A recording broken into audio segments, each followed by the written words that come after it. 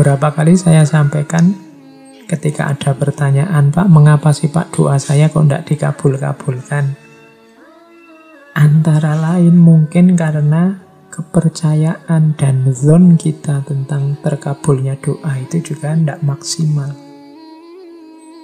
Kadang-kadang kita berdoa sambil ragu-ragu. Apa ya ya oleh Allah akan dikabulkan. Loh kalau kita sudah ragu-ragu ya Allah datangnya ya sejauh kita percaya.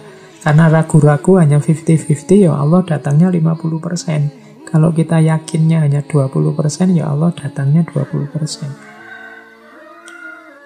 Maka Allah ya datang sejauh kemungkinan keyakinan kita. Ana inda abdi.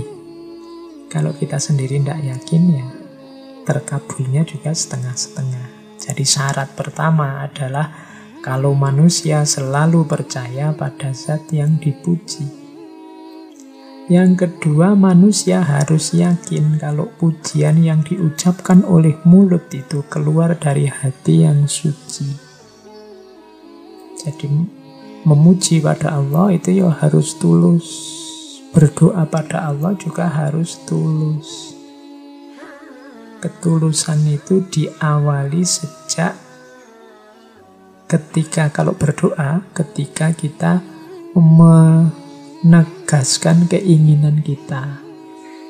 Itu juga harus tulus. Jangan berdoa, coba-coba ah saya minta ini pada Allah, siapa tahu dikabulkan. Itu tidak tulus.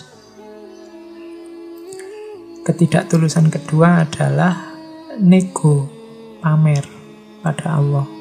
Ya Allah, aku ini kan sudah beribadah banyak padamu. Aku sudah sodakoh sekian juta maka tolong sebagaimana janjimu ini roto ngancam sama Allah.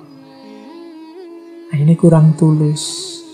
Berdoa saja secara tulus yakini kebesarannya bahkan tanpa disogok dengan apa pun Allah sangat sayang dengan kita. Jadi syarat kedua adalah ketulusan